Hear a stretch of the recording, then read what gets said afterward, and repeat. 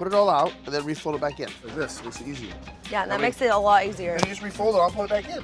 What, how hard is that? Jax should zip his mouth. He doesn't know how to zip his mouth. That's his issue. Let me just do this on my own. It's not organized. Why are you still harping over me? Like, shut up. You guys stop bickering. Jax and Brittany need a goddamn timeout right now. We gotta refold everything.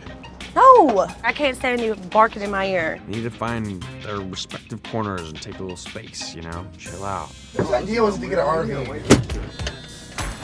Right. Ah!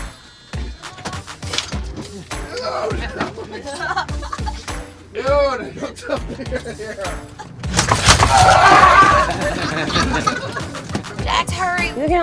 can only do it in four minute intervals. There's a lot of people. I don't even know if I would consider us to be civilized human beings anymore. It's every man for himself. I'm going, I'm just rinsing my body and washing my face really quick. I'm Turn the water off and on. These kind of showers don't work for people like you that take eight hour long showers. You just gotta wait it out. There's a beer in there. Go ahead and have a drink. I swear it's turned on. It's on. on, honey. We're waiting on you, per usual. Oh, Jax. Oh. Jax can't just keep laying into Brittany all the time.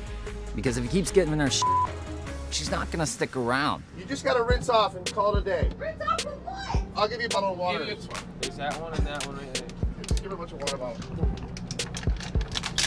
People drinking things. Jax can honestly be the sweetest, most generous, loving guy, but then he can also be the biggest asshole on the planet. Savage life.